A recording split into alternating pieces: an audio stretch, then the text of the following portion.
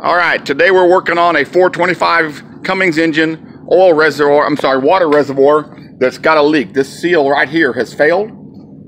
So we're gonna put on a new reservoir, which we've ordered, and it came in. So we have to take off this bolt here, which has a nut under it, and this bolt here, which has a nut under it. Those two are easy. Over here, however, we have a nut here, which has a bolt on the backside that's going to be hard to get to, and this one, which has the nut on the backside, which we can access. So this one will be the hardest one. This is in a Tiffin Allegro Bus Motorhome 2008.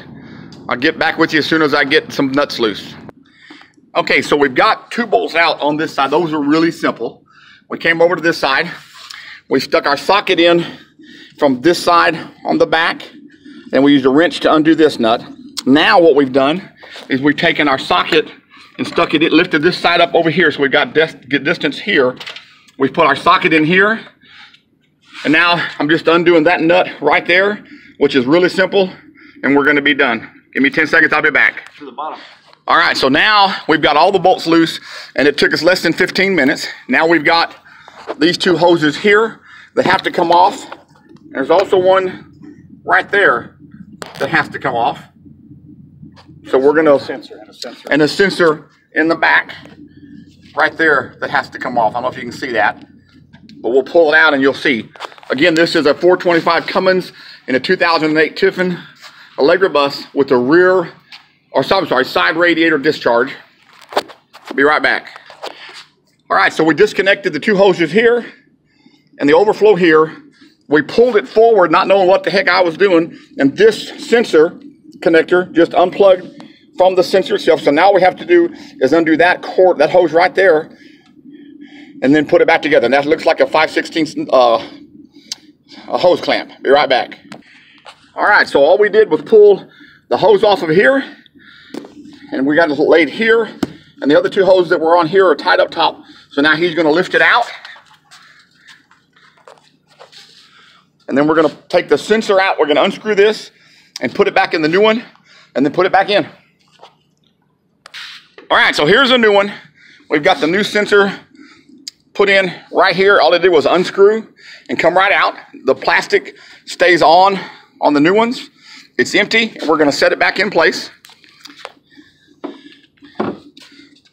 All right, now first of all, we want to hook the hoses up and the sensor on the back, but we're just doing a dry fit to make sure that it fits in there.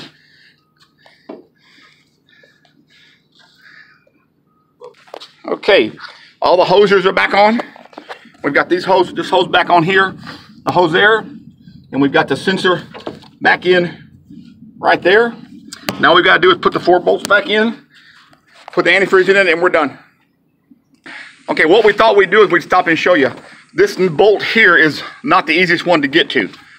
So what we did is we put, all right, so what we did is we put the bolt in the hole first, then we lifted it up and put it in at an angle to line it up with the bolt hole. And that's how you get it back in easily. You do this one first. Okay, so now we've got all the bolts back in on all four sides. What you want to do is make sure you put them in before you put the nuts on so that you can lock everything down. Now we're going to put the hoses on. It's easy to remember because one is longer than the other, so it's easy to see where it goes. Then you put the clamps back on and put the antifreeze in, you're done. Okay, everything's done but adding the antifreeze. On the internet it said it takes four hours. My, my buddy got here at 1049, he showed up at 1049. It is now 1122 and we're done. So you figure setup time and everything, if it took us 20 minutes to pull the reservoir, reservoir and put it back on, I'd be exaggerating. That was one of the simplest things we've ever done. I hope y'all have good luck again. This is a Cummins 425 engine, side radiator where the reservoir was split to replace it in less than 30 minutes.